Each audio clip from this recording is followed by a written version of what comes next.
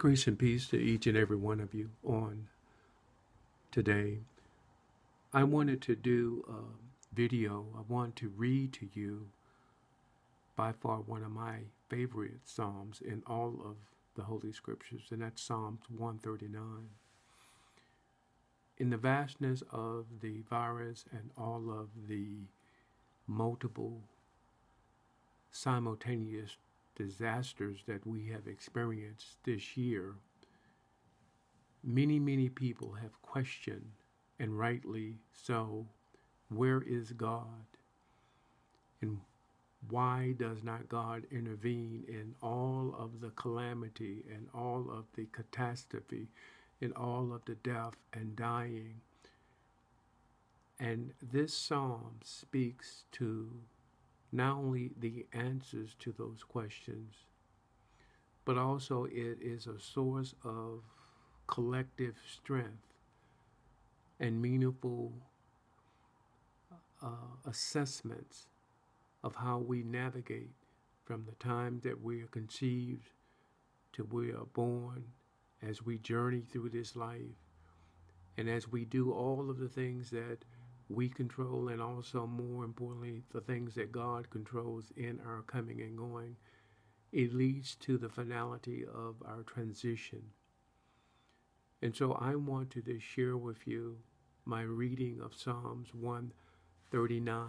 And I will be reading from the complete Jewish Bible because of the verbiage and how brilliantly I think the author has written it in the original Hebrew content. It says, Adonai which is God Almighty.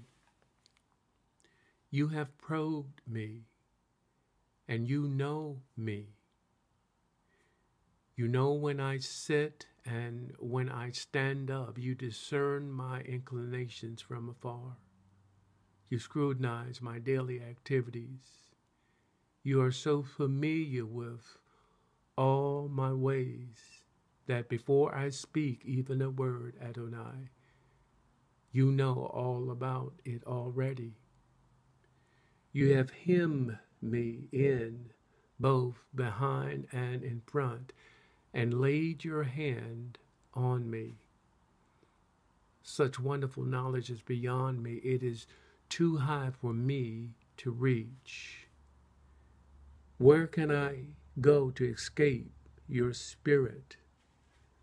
Where can I flee from your presence.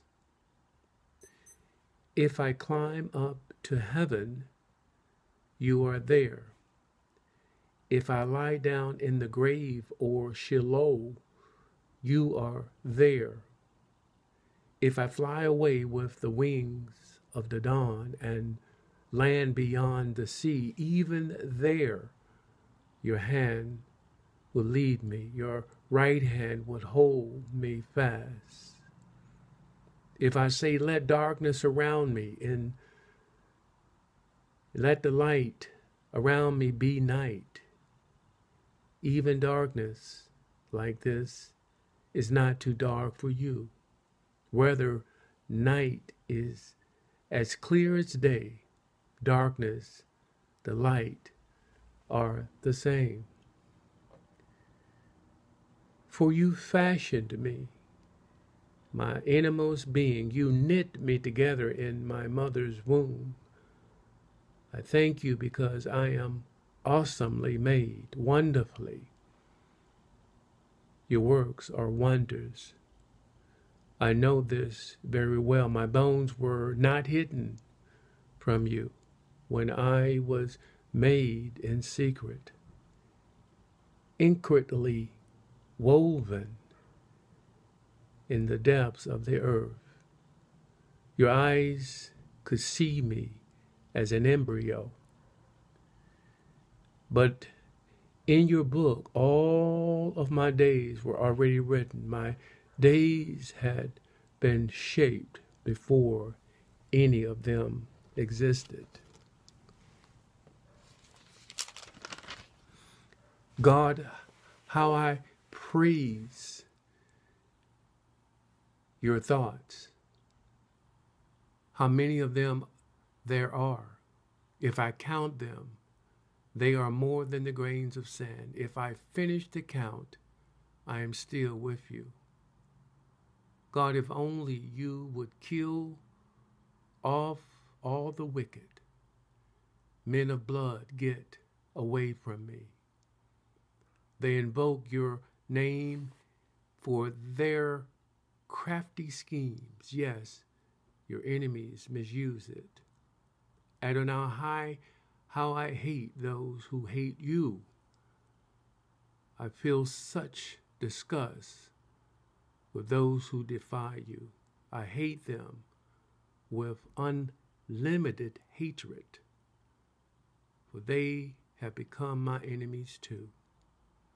And finally, examine me, God, and know my heart. Test me and know my thoughts. See if there is in me any hurtful way and lead me along the eternal way. Grace and peace unto you and your household. Shalom.